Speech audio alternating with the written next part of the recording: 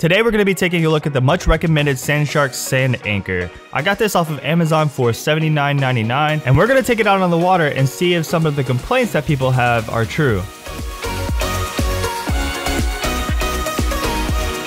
So we've just arrived to Fort DeSoto Park and as you can see we have a strong current coming across here as the storms are coming in. So I get out my Sandshark rope here and we're going to get her tied up. Now this thing doesn't come with a case, so I decided to put this in a Publix bag, and that turned out to be a bad idea. Now as you can see here, I was a little bit confused on which parts need to go where, but then eventually figure out that it doesn't matter as long as the handle's on top and the spirally thingamadig is on the bottom. So first I save the ocean, and then I... Oh, and then she closes the container while I go ahead and get us anchored in here. So at first I thought I could just wrap it around here, but then I realized that wasn't going to be stable enough. So I do the classic wraparound roo here, and then we're back in business. So it turns out that the wraparound roo was not a good idea. This is the tie that they show on the Amazon pictures. As you're twisting the sand anchor, the rope gets caught and twists with it, causing it to wind up. And you can alleviate this by using the first variant that I tried.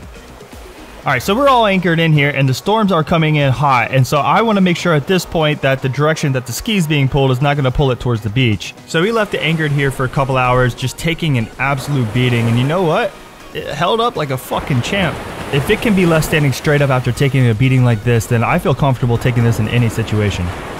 Now that it's time to pack up, this is where the negatives come in. You remember how compact and nicely it fit in your storage container? Yeah, you could kiss that goodbye. It's already hard enough to unsnap these things when they're brand new, but when a little bit of salt and sand gets inside there, it becomes impossible to get these things apart without hand tools. Which is why on Amazon it's pictured this way, because they probably couldn't get these things apart either.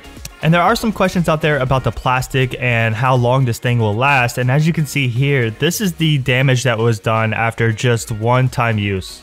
But I still don't think that it's going to be anything significant enough to not last how long you're going to actually keep your jet ski. And in my opinion, these cons are pretty small in comparison of some of these other options that we have out there, which are going to end up taking up more room in your storage container anyway.